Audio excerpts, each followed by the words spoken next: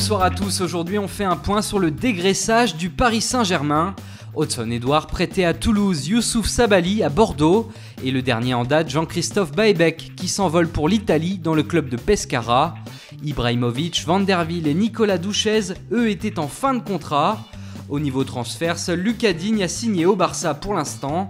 Mais d'autres pourraient suivre comme Benjamin Stambouli qui intéresse plusieurs clubs dont le Betis, le Milan AC et Schalke. Du côté de Salvatore Sirigu, on s'active pour trouver un point de chute. Les deux clubs les plus chauds sur ce dossier sont actuellement le FC Séville et Everton. Quant à Blaise Matuidi, toujours dans le viseur de la Juve, un contrat de 4 ans avec 4,5 millions d'euros annuels l'attendrait en Italie. Le club de la vieille dame a formulé récemment une nouvelle proposition à hauteur de 30 millions d'euros. Au rayon des arrivées, le mercato semble bouclé.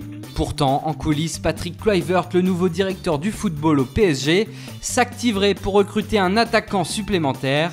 Il ne reste plus qu'une semaine. À Manchester United, on tente également de boucler les derniers dossiers. José Mourinho souhaite faire du défenseur portugais José Fonte sa dernière recrue.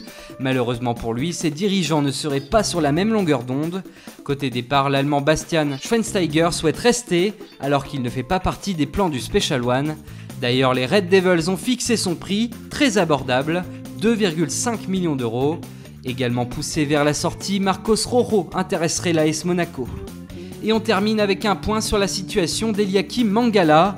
Barré par la concurrence et les choix de Pep Guardiola à Manchester City, l'international français serait très proche de se faire prêter et c'est à Naples qu'il devrait rebondir. Voilà, c'est tout pour aujourd'hui. Bonne soirée à tous et rendez-vous demain pour de nouvelles informations sur le mercato.